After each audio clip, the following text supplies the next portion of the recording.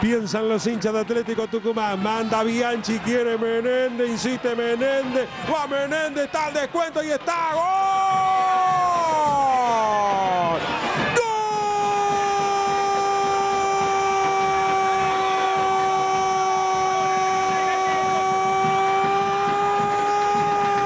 ¡Gol! Atlético Tucumán, el goleador apareció.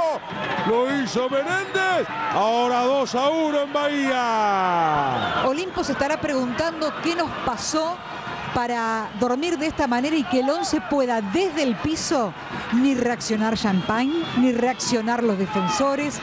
No pudo Rodríguez, la veía Telechea pasar sin reacción y desde el piso el 11 le puso un picante bárbaro al partido. Estos minutos van a estar realmente extraordinarios.